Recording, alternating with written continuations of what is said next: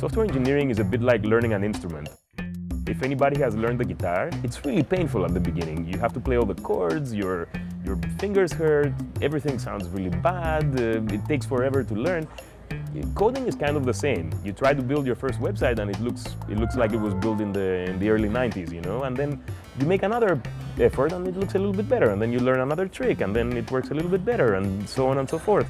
So the best way to learn is to do.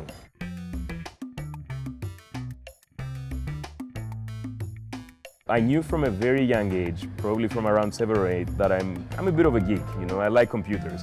Um, I remember my dad bought me this book which was about the basic uh, programming language and it was a little bit like a story that taught you all the basic components of a computer program and how a computer is built and so on. And from that age I realized I'm excited about computers and I like uh, writing computer programs. Uh, so then when I had to decide to go to school, I decided I wanted to do engineering. Then I ended up doing a PhD in electrical engineering. And then when I finished with that, I had two options. Um, either I would go to academia or I would go to industry. And the most interesting thing that industry was doing at the time that I was using algorithms and computers was online advertising. Before Twitter, I had started my own business with uh, two other friends. We built a small company called AdGrok, which was in the online advertising business.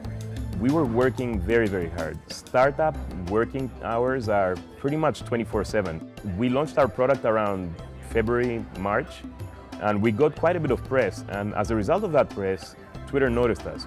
They saw that we are a small team building an interesting product in the online ads business. At the same time, Twitter was also building out its own ads engineering team, so they reached out to us and asked us whether we wanted to, to join Twitter.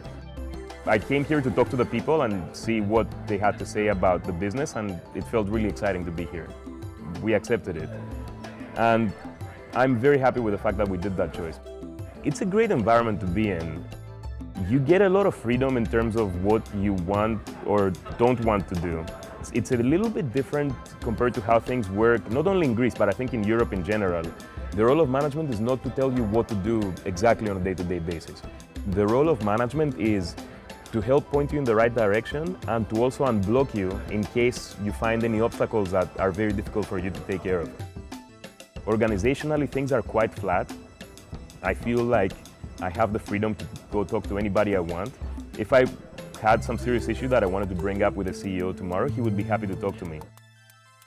A lot of the companies in the Bay Area take internships. They're definitely paid internships. Twitter can do all the paperwork for you regarding visas and all that. You can come here, get a good experience, see how it is like living in the Bay Area, see how the tech business works. I think it's a really good opportunity for anybody living in Greece right now. I see myself staying here for a while, uh, but at the same time, if I were to do something else, I would like to work on a company or a product that helps others help themselves. And I would like it if that was somehow related to Greece.